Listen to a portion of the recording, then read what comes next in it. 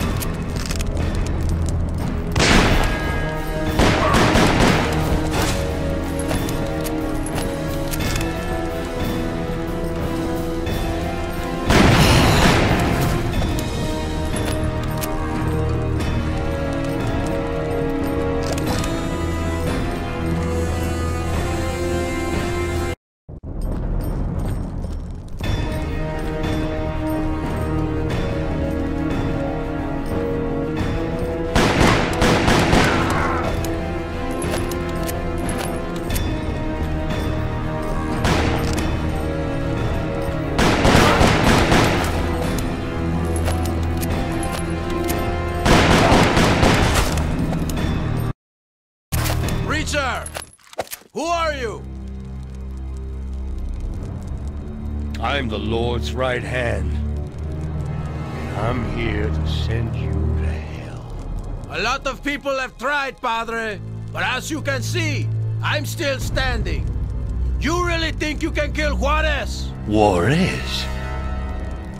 You're the man who had my brother murdered.